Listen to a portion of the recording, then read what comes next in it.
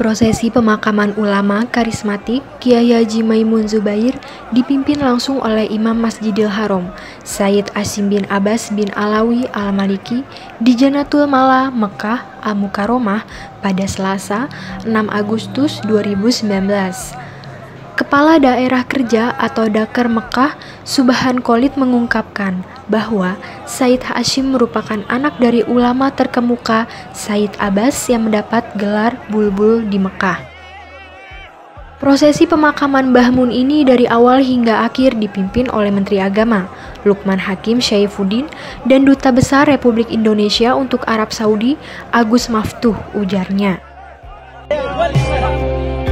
Pernyataan Subhan sekaligus membantah sejumlah video viral yang menyebut pemakaman Mbah Mun dipimpin oleh Imam Besar Front Pembela Islam atau FPI Habib Rizik Sihab.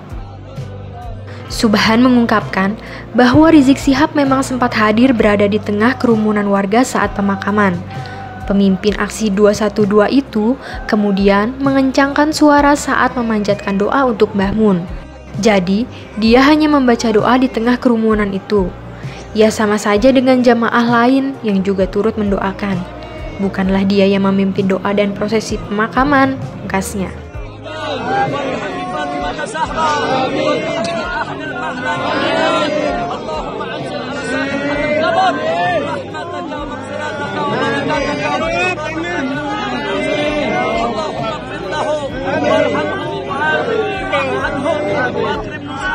آمين آمين.